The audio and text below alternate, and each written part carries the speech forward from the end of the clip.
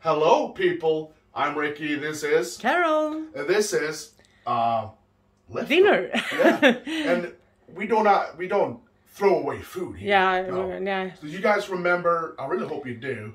Uh, when it comes to the the goulash that Carol did for the uh, Cornbread, for the cornbread. corn muffins Yeah, bread. the corn, yeah, the corn muffins. So this Yeah. is what we, she did, and I I really don't want to record this because I want to eat this. yeah, I did like um, uh, I added in the goulash. I, Yeah. I added in cream and um, more uh, uh, tomatoes, more spices. I, I just did it like um, yeah, it's a gratin. uh, I think they call it gratin.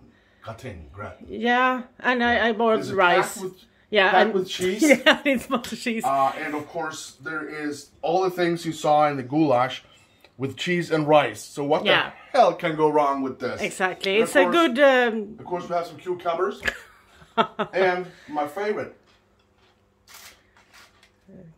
baby plum tomatoes. tomatoes. They are really good. It, it's like snacks, actually. They're I so could live on sweet. this. And we have some company here, of course. You know, as usual. Hello. Hey. So this is uh, Yeah. it's uh, 5 p.m. Yep. and uh, it's time for dinner Yeah. here in Sweden.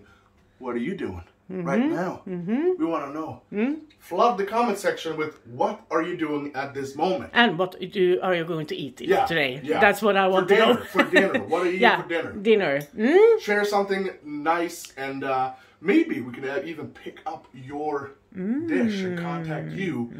Want to do that. Mm-hmm. You never know. Recky and Carol are kind of weird when it comes to food. Yeah. Next, not a cooking show. Yeah, it's not a cooking show. It's an eating show. yeah, it is. Yeah, that's it? Yep. Yeah, okay. I'm Recky. I'm Carol. You, Stay safe. I gotta eat.